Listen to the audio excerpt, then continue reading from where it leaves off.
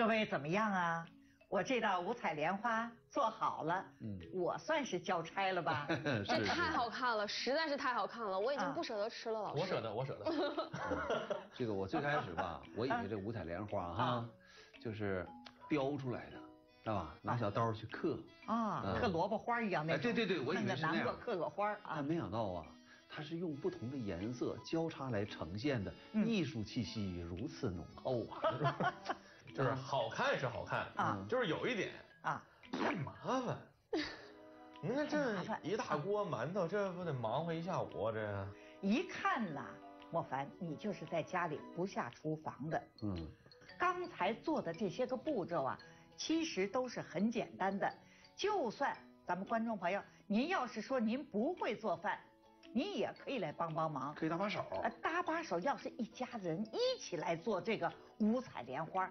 哇，这欢声笑语的，还能吃到这么美的、这么漂亮的、这么养生的五彩莲花，这日子过得多美呀！这个画面你想一想都很温馨，你说多好，对不对？而刚才莫凡你说的这个事儿吧，其实我也能理解。嗯啊，我一看到这五彩莲花之后，我也有点懵。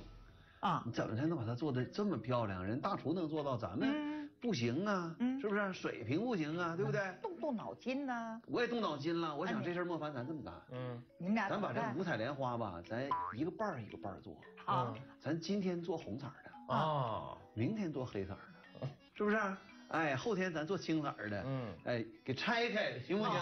你是按周一周二周三周四周五这么个排，那吃五天也没了。其实你这个说的也不准确，嗯啊，我跟你讲，我们桌子上还有这么多食材还没用呢，那么这些个菜也可以按照颜色来划分。对，我把这事儿给忘了。对，放到我们的五彩莲花里，嗯，都能养护我们的五脏。刚才我说了，我每周都会吃这个五彩莲花，每周我选的食材还都不一样。所以在这儿呢，我提醒大家一次啊，就是这个五色养生，切记什么呢？就是像莫凡一样，操之过急。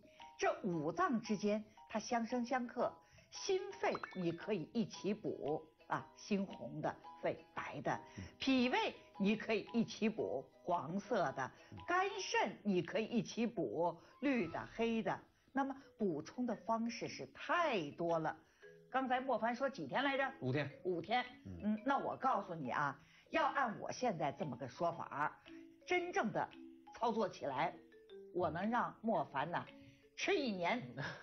其实按照刚才阮老师这说法哈，在五彩莲花为基础，随便加点别的什么东西和五脏对应保护，再和不同人的健康需求再发生变化的话，五乘五再乘五再乘五，没底了，一年不够，一年都不够，你看看，真的，一年不够。